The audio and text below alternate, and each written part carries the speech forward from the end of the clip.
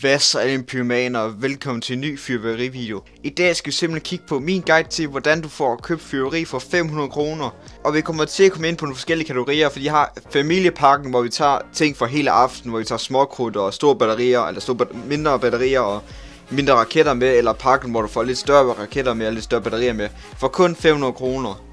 Yes sir, lad os tage den ultimative familiepakke. Okay, som det første, det er, at vi kommer til at udskifte Grand Prix O med Trollmands æske. Og det gør jeg for en grund skyld, og det er simpelthen fordi Grand Prix O 2, der er ikke lige så meget krudt i, og det ser ud til at være et mindre sortiment overall. Så tænker jeg, at Trollmands æske, det har jeg prøvet mange gange før, det fejler aldrig, der er nogle fine batterier der i. Ikke de største i verden, men heller ikke de mindste i verden, og du får bomberør, du får raketter, og du får nogle fontæner, som ikke er de pæneste i verden, men du får nogle fede raketter og nogle fede batterier.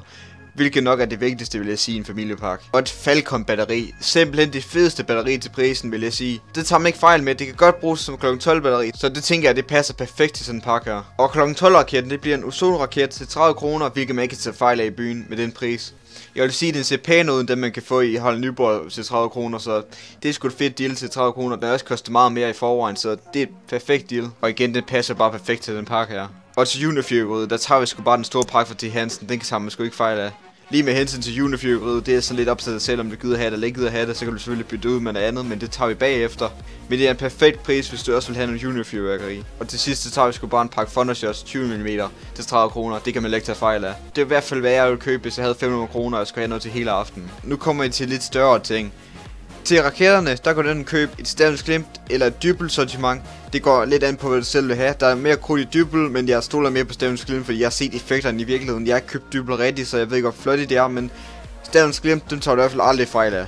Og til vores batterier, der vil sige, der kan du købe et metallic batteri, et fantastisk batteri, og også alles elskede batteri, Falcon, eller hvad nu det hedder i Harald Nyborg, fordi det hedder eller andet. Jeg kan, der kommer et billede op her nu. Det, det er det samme batteri, bare roligt.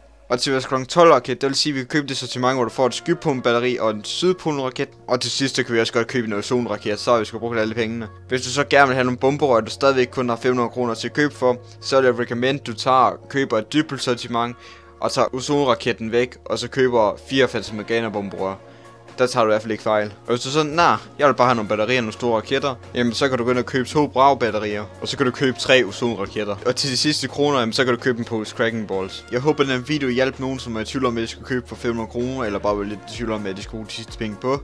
Always, så må have en skide god dag, alle mine pyromaner. Hej hej.